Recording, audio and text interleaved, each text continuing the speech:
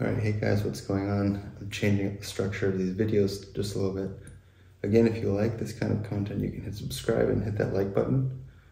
And let's get right into this. So before I got, go onto the page on the iPad here, I want to just briefly talk about what we're going to cover. This is, again, going to be relatively short, just like most of my videos are.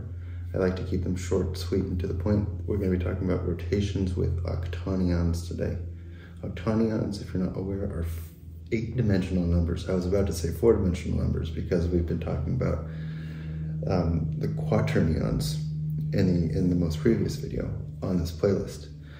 Octonions are interesting in that we can think of them as eight-dimensional numbers, right? But what we want to think, start thinking of them about, or not perhaps start thinking of them about, but we want to kind of think about the basis of these numbers as being elements of a set of matrices. And these matrices are unique in that they're unitary, right? And we want their determinant to be equal to one. And later on in this playlist, again, this playlist is going to cover physics from symmetry by Jakob Schwichtenberg. Later on in this playlist, we're going to understand that these matrices that we're using as a basis for our quaternions or as a basis for our octonions are going to be considered what's known as generators of a Lie group, okay? We're not going to get deep into that yet because uh, we need to cover some other stuff before we talk about Lie groups and their generators.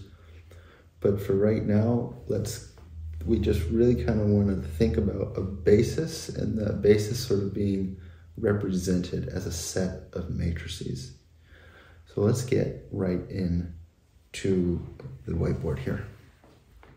Okay, so when we're talking about octonions, we want to talk about first, actually first we want to recall a few things. So let's recall uh, this U1 mapping right? So this U1 mapping here is, we, we, this is what we did initially. We said one was somewhat equivalent or could be represented also as a unitary matrix, or not a unitary, but an identity matrix.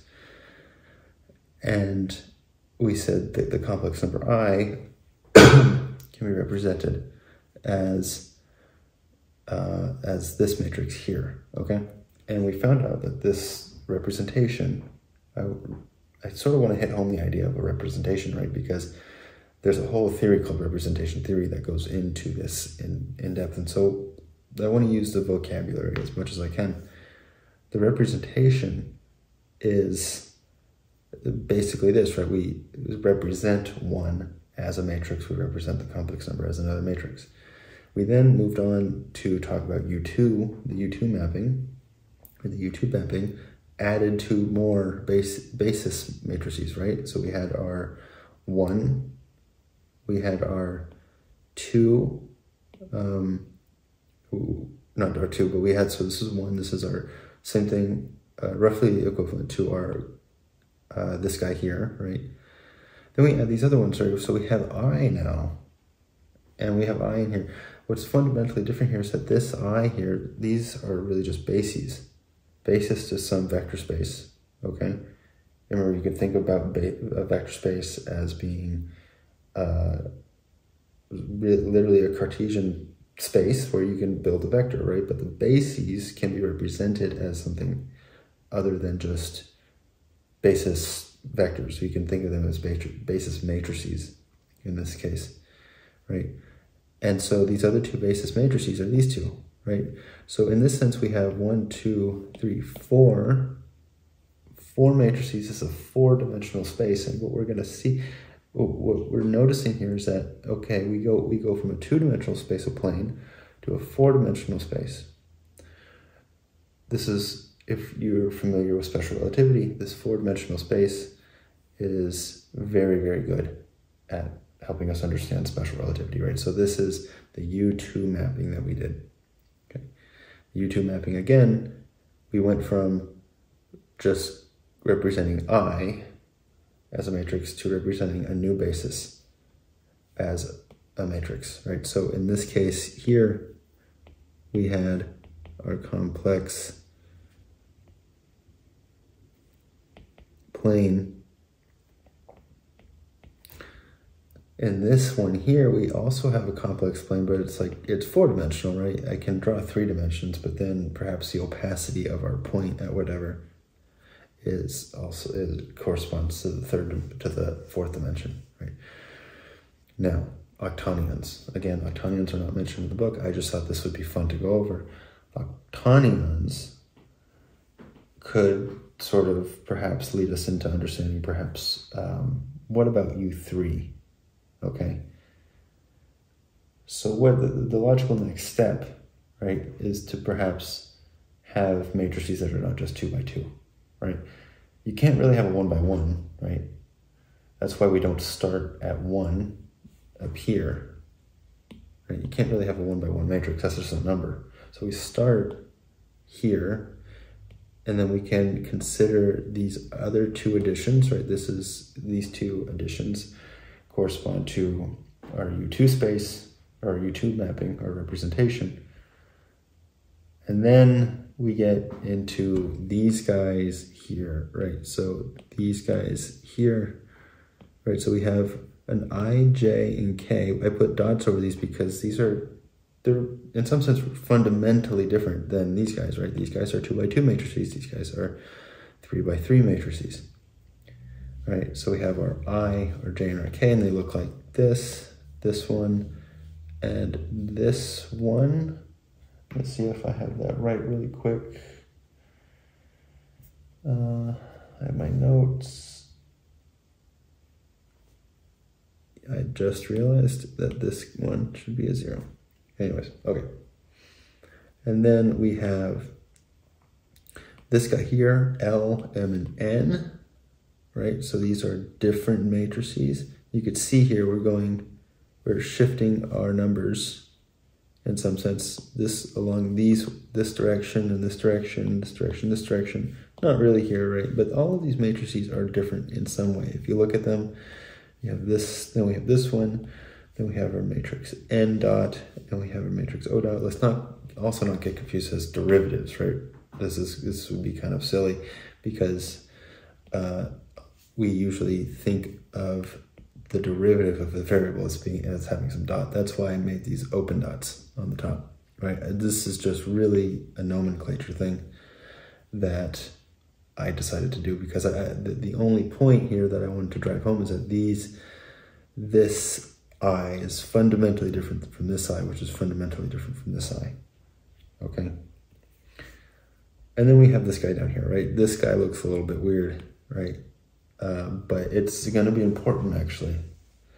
Uh, the reason it looks weird is because, well, his, his uh, determinant is actually going to be 1, right? Because um, this, we're going to end up getting, you, you, can calculate the determinant of this, and then this is going to, the, the square root of 3 is going to help, help it go to 1. Anyways, so what does an octonionic number look like?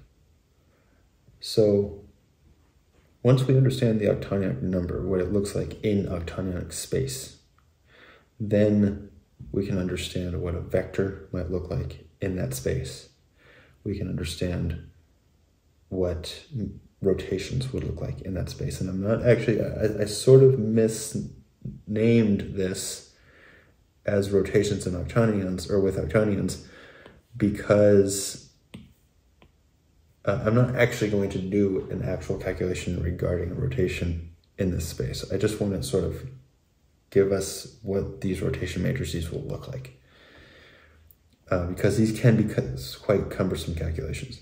Anyways, we can look at this now.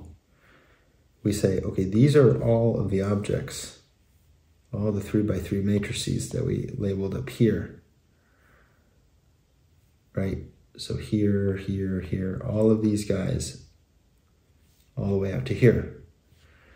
Right, so we have one, two, three, four, five, six, seven, eight, nine, right? So you might wonder, okay, nine, why, what's the deal here? We're looking at octonions, not um, non-onions or whatever. Well, it's this guy right here, right? This is a real number, okay? we always have this real number and we always, uh, this, a lot of times this real number isn't really considered part of um, what part of the nomenclature, if you will. So, anyways, this matrix looks like this, right? You can do the calculation, right? It's not that difficult to do the calculation, right? So our A here is going to get multiplied and placed in this upper, in this location, this location, right? So we have an A here and an A here. It's also going to be placed down here. That's why we have an A right here. Okay, and then our B, well, he's going to get multiplied by I and placed in this location. This location, we can see B and B, right? So we can do that location, or we can do that this calculation and find out that any rotation in octonionic space is going to look like a matrix. It's going to have a matrix like this, right? You can represent your octonion in this way or in matrix form in this way.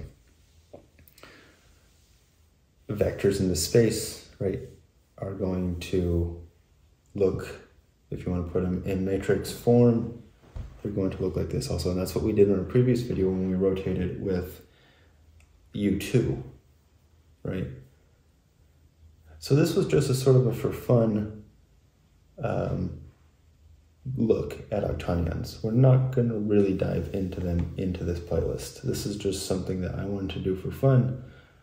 And what we are going to go through next is we're going to start getting our feet wet with Lie algebras and that kind of material, right? If you're not familiar with Lie algebras, I intend to go pretty slowly throughout this book because um, I, I, want us to I want us to really understand the algebras.